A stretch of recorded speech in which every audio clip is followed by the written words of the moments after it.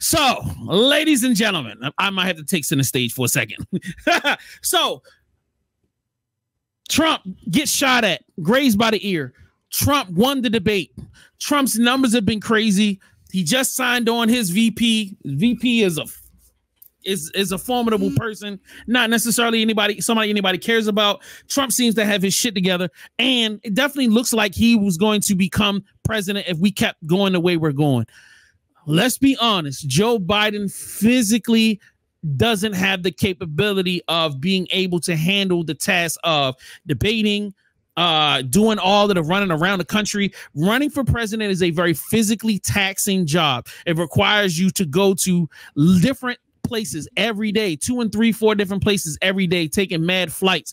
As an as a late 80 year old man, it is very hard for him to do, and he's already been physically taxed by doing four years of being the president. So he's losing.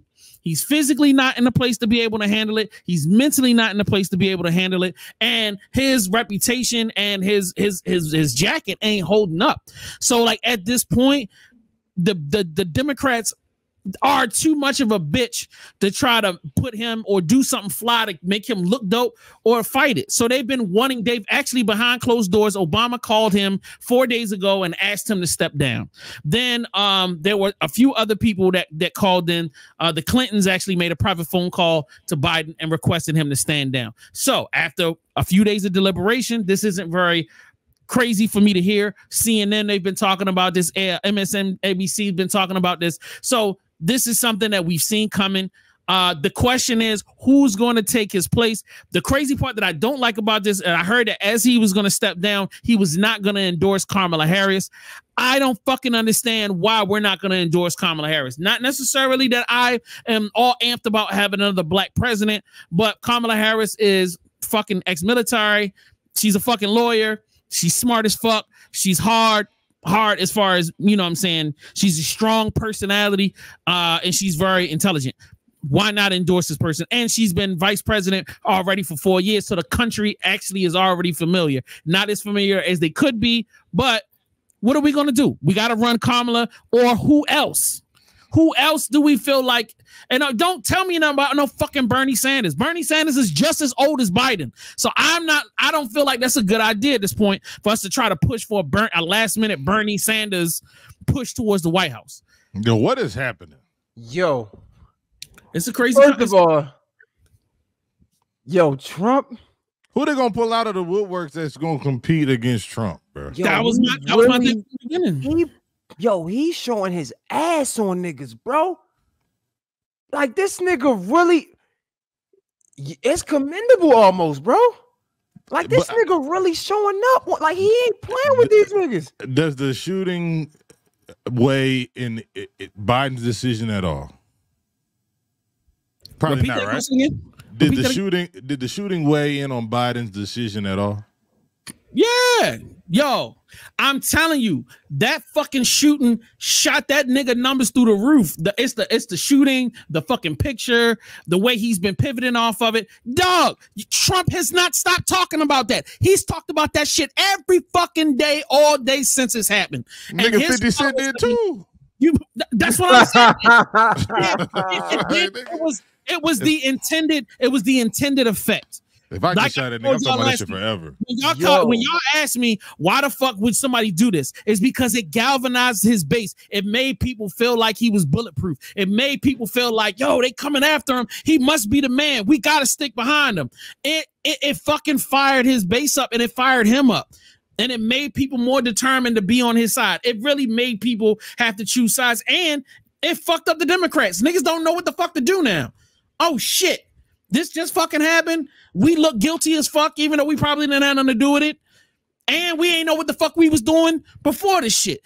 And now this uh, to me, the fact that Biden stepped down is a prime example of these niggas not having a fucking clue on what to do next. The moment you were, you should have had you should have had the next person in place ready to go to do a peaceful transition, saying Biden would say, "Hey man, I don't feel like I'm fit, but here's my guy or here's my girl, Kamala Harris. She's gonna take my place. This is how we gonna. Yo, come on, bro. I, you know what? I ain't gonna lie. I hate being a fucking Democrat Democrats are fucking stupid. You niggas have the most money and zero organization. Y'all niggas have the most diversity and zero common sense. Y'all niggas don't never plan for shit and got the most educations. The Republicans is the dumbest niggas out here, but they organize and they fucking out here making moves. Niggas done changed the goddamn Congress. Y'all done, they done changed the goddamn shit. They done changed the motherfucking uh, uh, uh, uh, uh, Supreme Court, and you niggas can't get up off your asses to organize a presidential run. What the fuck are y'all niggas doing, bro? Maybe, maybe he crazy. Maybe, maybe he maybe he racist, bro. I don't I don't give a fuck. And that's the problem. Y'all Democrats give a fuck too much about who's racist and who not. This shit is fucked up. We need control so we can fix shit. I don't give a fuck if a nigga racist. Is the nigga gonna do what the fuck I said he gonna do at gunpoint? No, I'm saying he, he racist. That's why no he not. Guns. That's why. That's why he not endorsing uh, VP Harris because he racist. He got on Biden. He got on. Okay. He got on oh, Obama's ticket. That's you know, he got on. He, he, got on Obama's ticket, so that way he could get you know woo woo familiarity. They vote him in next year. Hey, get this black lady on your on your team. You gonna get the blacks, and you are gonna get the the lady votes. And now you in position is like, nah, I don't want no lady being president. I want no black woman being president. You know what I mean? That could be that. I don't know. That's that don't make no sense. So by so uh Trump about to be our next president. And I think so. And I'm not missing out on that PPP this year. I ain't missing out. I know niggas saying this shit to be funny, but you don't you don't want this nigga to become president, bro. Bro, they said that last time. What really happened? It's, honestly, it's a, like not trying to be ignorant. They said whoa, that. Whoa, whoa, whoa, I'm gonna answer your question right now, and very clearly. Trump was running out of ego the first time and was not organized and most of his presidency was clumsy, unorganized, and thrown together. When he left office, what happened is throughout that first presidency, all of the uber conservative racist motherfuckers that were organized and had money decided to get behind this nigga because they knew that he could they could control him. As long as they put money in his pocket and they made sure he was happy, they were allowed to put together Project 25, which is the goal for 2025, which is pretty much to throw out anybody that's not going to agree with the president and not agree with their their their uh agenda moving forward, and they're going to have a, a dictatorship. That's what the fuck we're talking about. We're talking about a group of people that are educated, well financed, and well organized and been preparing for 30 years. And they put on their website exactly what they want to do. So that means they've already gotten rid of uh minority my, anything that has to do with minority support. So they got, got rid of that. So now they're gonna start start throwing niggas out of their businesses. Number two, they're gonna do is they're gonna start fucking putting niggas in internment camps. They literally fucking said that shit. It's in the documents, meaning that they're going to start with illegal aliens. Then they're going to start with homeless people. So they're going to create internment jails for illegals and for homeless people. They're going to put them in jails. Mm. Is that what you want to happen? The niggas that's on the corner that y'all be trying to feed, they're gonna round these niggas up and they're gonna put them in jail. So now, what happens if you lose your job? What happens if you lose your home? You gotta immediately report to an internment camp. So how the fuck do you find another job? How the fuck do you get out of the streets after that? That's one. Those are a couple small things. Then you've got when I say the ability to change the laws within the federal government to if you don't agree with the president, you could be fired, that means that there's no checks and balances. If the president wants to go to war, you go to war. If mm. the president wants to not deal with black people no more, nobody can fight him on that. Right now, we have a check, a system of checks and balances. That means the president could not like some shit, and other people in government be like, I don't give a fuck about that shit, and they're not be fired. So if they get in there and they create a system where you have to follow whatever the president says, so what if the president decides that he just don't he just don't like China and he wants to launch off nuclear weapons. There's nobody stopping him from doing that. Mm. That's the fucking problem. And because we all arguing about dumb shit, we not thinking that we not understanding that there is a group of people that have been making sure that they got down on paper everything they're going to do. They know exactly what laws to attack. They know exactly what people they want to get removed from office. They want to they know exactly how they want to do whatever they're going to do. And they've got the oh they've already got everybody that they want to put in position already set aside.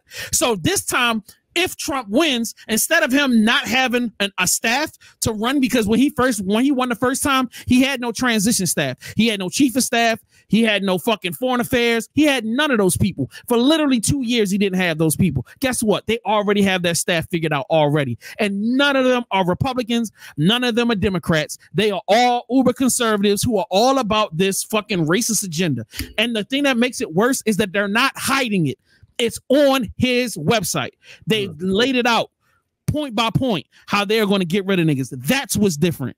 Is that before it was a fluke and niggas laughed about it and he fumbled his way. This time, some fucking racist conservative niggas that are fucking radicals have teamed up with this nigga and they're not hiding it. Mm. That's the point. So, what makes it crazier is there's got to be some worse shit behind the shit that they're showing you. Mm. So is that the far, is that how far we want to take it? So, and this has been discussions on the news for weeks and weeks and weeks and weeks and months at a time. And this is what people have been screaming is that it's not that I don't hate Trump because of his personal shit. I don't give a fuck about Trump fucking prostitutes and that's what you're supposed to do when you rich. Nigga, go fuck some prostitutes and some bitches. Get out here, steal money, rip niggas off. Yo, you're a rich nigga. That's what you're supposed to do. I know poor niggas that do that shit. But when you talk about becoming president of the United States, there has to be some sense of purpose for helping the country, hmm. not rich people in the country, but all Americans. And internment camps should never be anywhere on a list of priorities for an American president. Mm. I'm sorry. I, I, I them cutting yo, Trump cut child support down.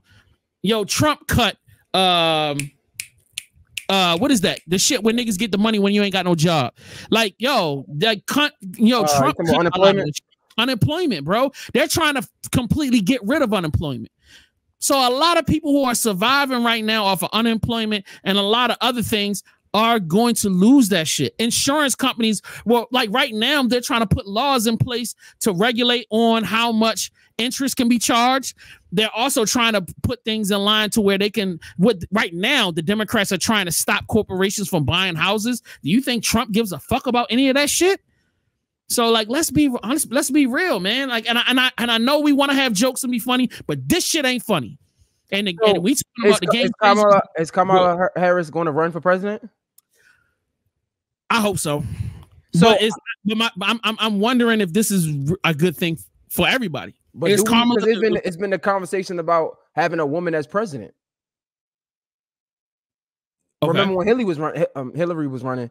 People was like, "Dude, is that is that what we want for our country?" I, I think that's just some sexist shit.